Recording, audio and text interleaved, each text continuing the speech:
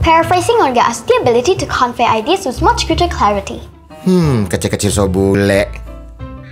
And we don't know the market yet. Nyasar, Mas. Portfolio eh? diversification is the key. Bisa Inggris.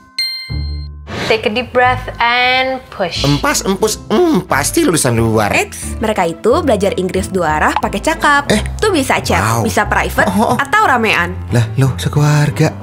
Siapa cakap, dia dapat.